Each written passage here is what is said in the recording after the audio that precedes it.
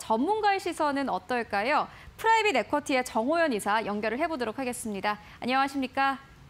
네, 안녕하세요.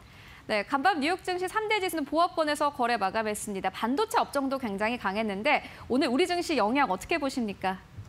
네, 투자 심리부터 먼저 확인을 한번 하도록 해보겠습니다. 미국 투자 심리를 확인할 수 있는 S&P 500의 내재 변동성 지수인 VIX는 1.6% 내로 소폭 상승하기는 하였으나 은행주의 배당 확대 소식, 주택시장 지표 호조 등으로 역사적 평균인 20선을 하회한 18포인트를 기록하며 위험자산 선호 구간에 위치해 있고요.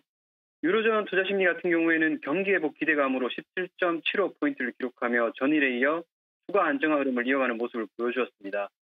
특히 독일 닥스 선물 지수가 1%에 가까운 상승 흐름을 보여주었고요.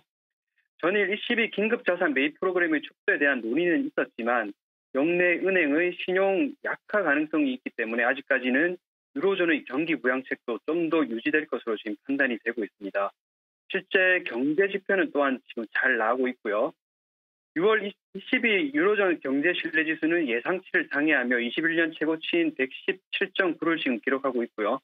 미국 6월 소비자 신뢰 지수는 코로나 이후 최고치인 127.3을 기록하며 미국 경제 활동의 70%를 차지하는 소비가 긍정적일 수 있음을 지금 시사를 하고 있습니다.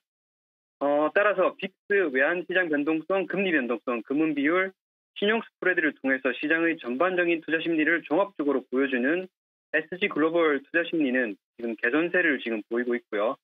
어, 위험 자산 선호 쪽에 살짝 걸쳐 있는 모습을 지금 보여주고 있습니다. 즉 종합하면 위험 자산 선호 구간에는 있지만 위험 자산 선호 강도가 다소 약화되는 모습을 보여주고 있습니다. 한국 증시도 전일 델타 변이 확산 소식으로 투자 심리를 좀 약화를 시켰는데요. 어, 러시아 백신 그리고 이제 러시아 백신 그리고 어, 모더나 백신이 지금 델타 변이 효과가 있다는 소식으로 어, 모더나 주가는 지금 신고가를 기록하며 추가 상승 흐름을 보여주었습니다. 달러 인덱스는 투자 심리 측면에서는 경기 회복의 불확실성에 지금 좀 초점을 맞추며 소폭 상승하는 모습을 보여주었고요. 이에 따라 위험 자산 선호 심리를 파악할 수 있는 어, 코스피 지수의 흐름과도 연관되어 있는 호주 달러는 소폭 하락하며 위험 자산 선호가 약화되는 모습을 좀 보여주었습니다. 따라서 투자 심리 측면에서는 글로벌 증시가 한국 증시에 미치는 영향은 크게 지금 좋을 것도 나쁠 것도 없는 미지근한 상황이라 판단하시면 될 것 같고요. 미국 채금리도 여전히 1.5%를 하회하고 있어 성장주에는 아직 나쁘지 않은 모습입니다. 한국 증시는 한국 정부의 반도체 배터리 백신 지원 강화 소식과 함께 BBIG 섹터는 상대적으로 양호한 모습을 보이고 있는데요.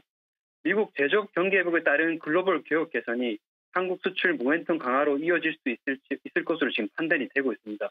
이에 대한 확인으로 6월 수출 데이터가 코스피 방향성을 좀 잡아줄 것으로 지금 기대하고 있습니다.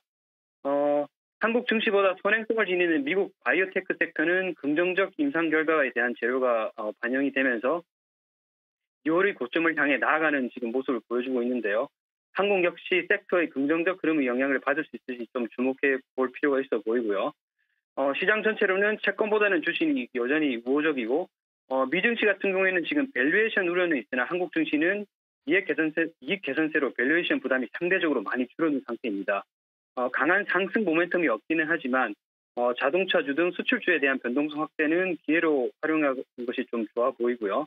외국인 수급은 전일 게임 엔터 2차 전지 선별적 매수가 진행이 되었는데 금일 흐름을 이어갈 수 있을지 확인해 볼 필요가 있습니다.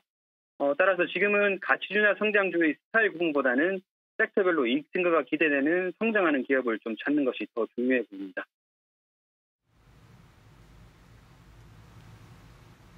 네, 알겠습니다. 지금까지 정호연 이사와 함께했습니다. 고맙습니다. 네, 감사합니다.